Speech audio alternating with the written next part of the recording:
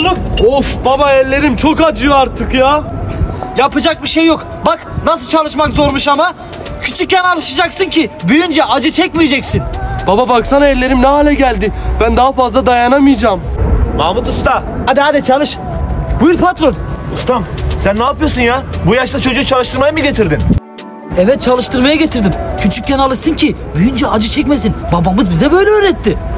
Ustam olur mu böyle bir şey? Bu yaşta çocuğun okulda olması lazım. İş yerinde değil. Hadi Hasan gel ben seni okula götüreyim.